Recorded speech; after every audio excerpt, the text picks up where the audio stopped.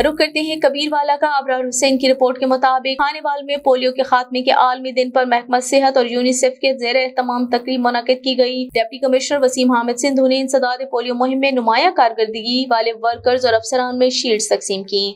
Deputy commissioner का जिला को पोलियो फ्री रखने में किरदार पर पोलियो वर्कर्स को खराज तहसीन। CEO health doctor Abdul Majeed Bhatti, अफसरान सेहत, यूनिसेफ अफसरान रोटरी क्लब अहदेदारान ने भी तकरीब में शिरकत की। उन्होंने कहा कि उम्र भर की माजूरी का शिकार बनाने वाला पोलियो वायरस बच्चों के लिए खतरनाक है। पाकिस्तान का पोलियो वायरस से मुतासर चंद ममालिक में शामिल होना बायस तशवीश है। वसीम हामिद सिंधु का कहना था कि हुकूमत पोलियो के मुकम्मल खात्मे के लिए कोशा है।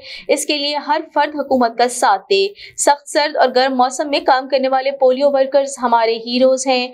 डिप्टी कमिश्नर ने कहा कि पोलियो के खात्मे की मुहिम में किरदार पर रोटली क्लब की जितनी तारीफ़ की जाए, कम है।